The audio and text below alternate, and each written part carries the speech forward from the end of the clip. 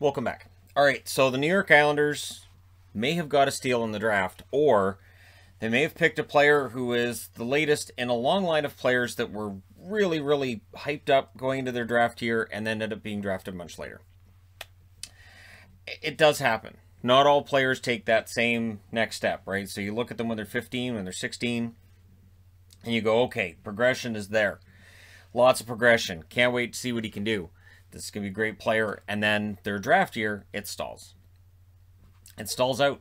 And so, no matter how talented a player might be, if they don't take that next step and players around them do in that draft class, they're going to fall. Now, he ends up being drafted 52nd overall is the official number that he's drafted at. Pretty sure it was 51st because number 11 doesn't happen. But he's drafted by the Islanders. And the Islanders are a team that can absolutely take on a player who's a project. They are a franchise that uh, Final Four two years in a row. They can afford to take a project. And if they hit on this project, they could look brilliant, right? There are still some things to like with Raty's game. However, however, the scouts really soured on him this year. So we'll go through some notes that I saw from scouts. Uh, Hockey Prospects Annual really gets into this. His skating is average and he can't score, was one comment that I wanted to isolate on. Another one. This is this isn't a first round player, and that was not an unpopular idea that maybe he shouldn't go in the first round. The the damning part of that is this was seen as a weak draft to start with. So you're looking at a player who was supposed to be the best of what was considered an, an average to below average class, and now he's fallen below a lot of players. And this was the most damning of the reports I saw. He's not a goal scorer, not a playmaker, he's a bad skater. So that's a problem. And his skating mechanics have been talked about all the way through. The idea was his skating mechanics aren't great. His top end speed may not be fantastic, but boy, he has the hands, he has the creativity, and he's going to be a big player. He's going to be a big center in the NHL. So he's got star written all over him. The skating mechanics are one thing, but while that's a detractor, it shouldn't hurt his overall stock. Well, when everything else starts to fall apart, it does. Playing in Liiga this year, 35 games, 3 goals, 3 assists for 6 points. And I talked about this in a video I did before the draft that Raty had fallen. Now I thought he was going to get taken. I was I had picked it I think 21st by Minnesota. Of course, they traded that draft pick, so that would have been Edmonton's draft pick at 21st. Uh, Minnesota instead decides to go with a goaltender at 19th, and Raty just keeps falling. Now at the under 20s, in eight games, he had three goals, four assists, seven points. But what people point to is in Liiga, it kind of falls apart. And what made it look worse was that last season, 2019 2020, he had four points in 12 games in Liiga. So all the numbers where you want to see a guy progressing, for Raty, it looked like he was regressing, that there, he was having more and more problems as it went along. So the positives, and there are positives with this game, he does have an NHL caliber shot. Any of the reports I looked at, the shot is there. But is that going to be enough to get him into the NHL and keep him there? That's where there's a problem. Now, he has net crashes on zone entries. He crashes the net all the time. He is big on going straight to the net. Big body, strong player. But when that's your go to move, the defense will anticipate it. And so he's having to change his game. And in the meantime, you have some scouts watching him and saying, okay, so he's driving to the net all the time. He's not looking around the ice. He's not looking at how to utilize his teammates, so it's easier for him to get to the net, and there's a greater chance to score by spreading out that defense. The other team knows. He gets the puck, he's going straight to the net. All right, we don't have to worry about his line mates as much. So, this is where the not a goal scorer, not a playmaker quote comes in, where he's not passing the puck enough, right? And the six points in 35 games tells you there's an issue there, right? So, the tunnel vision's a problem because he does get caught trying to go through everyone. You know that frustration you have watching a hockey game? It happens in football too, where it's like, oh, what do you? Oh, you're going into like eight guys. Well, that's that's not going to work. Um, and soccer, soccer too, where you'll see a guy going in and yeah, you, I don't know what you're thinking. You should probably pass that back or figure something out. But okay, uh, because then it kind of becomes a wasted play, right? You end up turning it over, and it's going the other way. And I mean that with any of those sports where it can be turned over and end up going the other way.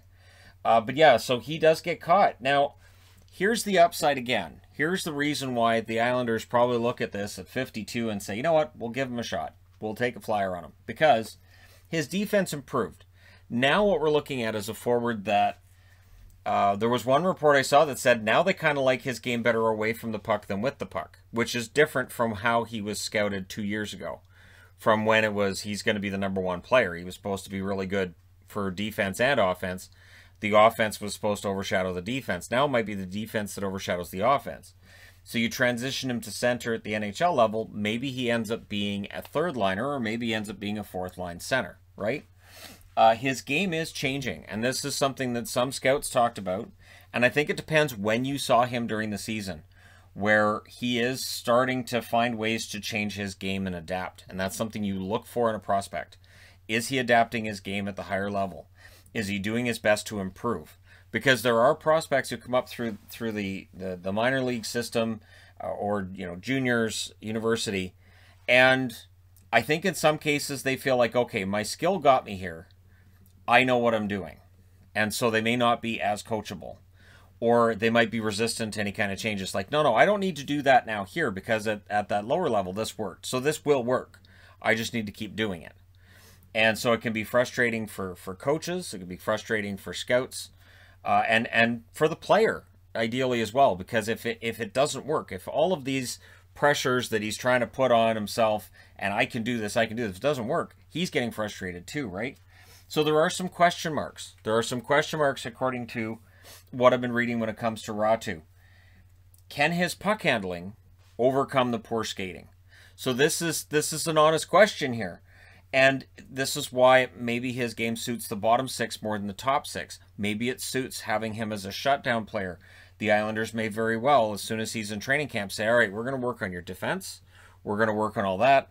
We're not convinced the offensive game's ever going to be, you know, top six worthy, but we think we can get a good third line, third or fourth line center out of this guy, right? So you start working on the defense, but you also need to start working on that that skating a little bit too, because again, we see players who are very good scorers that get stuck in the AHL, and sometimes it's the skating's mediocre, right? Or guys got really good hands, but again, the skating can can really knock that down. So the puck handling is still there. I didn't see anything saying necessarily his puck handling is a problem. Yes, he does net crash a little bit much, and maybe that'll cause some turnovers. But again, with the right coaching, and the Islanders are very good at coaching players to play better defensively, that could help. Uh, and will the offense trend up? Because this is a question mark too. And one quote I saw that I thought was interesting was, "Not all prospects have a linear um, experience when it comes to their development. Not all development is just straight up. Some guys they'll they'll they'll go up, they'll have a little bit of a problem for one year, and then they go up again. This could be a player that we look back years down the road and say, "Wow, the Islanders got a steal," and he proved everybody wrong. And he kind of has to come into camp with that idea, because as a second round pick, it drives down the amount of money you can get on your first contract, right? So it means your likelihood of getting nine hundred twenty-five thousand, which is the the cap on on entry level deals he's probably not going to hit that. And then you know your your signing bonuses or playing bonuses or anything like that any kind of bonuses that you add into your ELC he's probably not going to get that either. So you you have to kind of take that and say all right I'm, I'm going to come in and prove people wrong.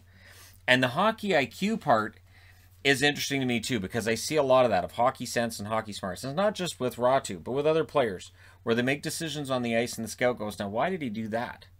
To me that's some of that I think is coachable. I think you can you can coach them to play that play that game better, where you can sit them down and go, hey, so on that play you made a pass over to the left, you didn't see the guy on the other side of the ice, or you you didn't think that through. You didn't take a moment and and back off and and look at your options. You just tried to blast right through the middle.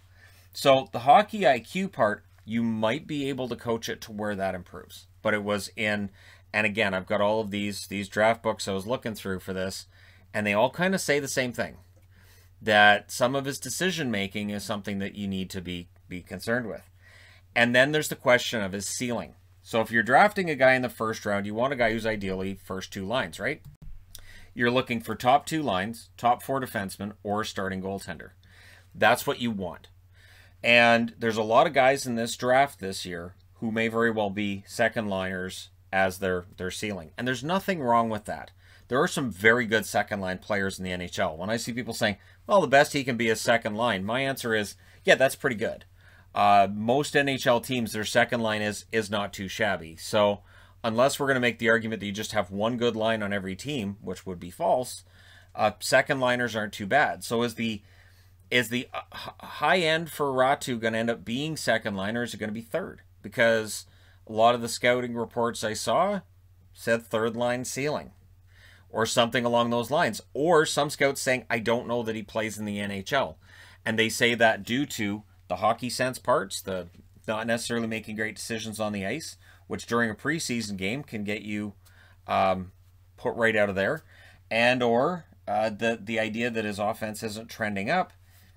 Maybe you don't see him as a bottom six guy, and he's just not quite top six capable. So I, I totally understand why he fell. I'm surprised too that he fell as far as he did. But clearly there were a lot of teams that soured on his game. Uh, there were a lot of teams that had other guys ahead of him. It may have been that the other players they took they felt were better skaters, that they had better uh, potential, or they just had better draft years. Their draft year was better, and so they passed him on the depth chart. So we'll see. Uh, let me know what you guys think in the comment section below regarding Raty making this this this nosedive from number one overall and con consensus two years ago, number one overall, and and now being a second round pick. So is this going to be one of those players that we look back later and we say, "Wow, yeah, a lot of a lot of hype, and then it just didn't work out," or did the Islanders make a really astute pick, or might it be somewhere in the middle? Sure, why not? Let me know your thoughts in the comment section below as always. Don't forget to hit like and subscribe if you're browsing your way through you just happened upon this video. And hey, thank you guys so much for watching, for all your support. I will talk to you again soon.